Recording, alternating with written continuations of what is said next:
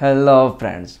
Welcome to your very very own channel FamiHow in this very short video tutorial you are going to learn how to align text boxes in Microsoft PowerPoint.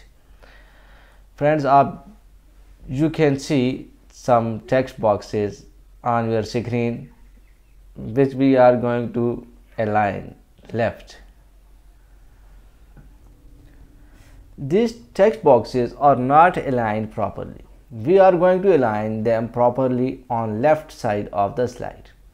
So friends simply select all the text boxes by selecting one by one or by pressing ctrl a. You can see all the text boxes has been selected.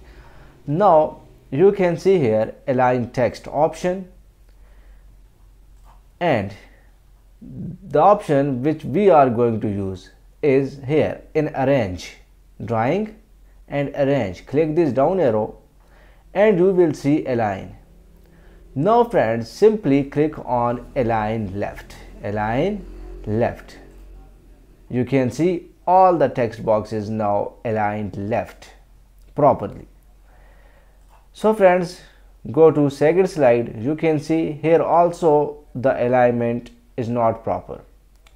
Again we are going to select all the text boxes. We will deselect this and then again arrange align. Now you can see align center align right. If i am going to click align center you can see or align right. We have to decrease the size of this text box which makes the alignment improper.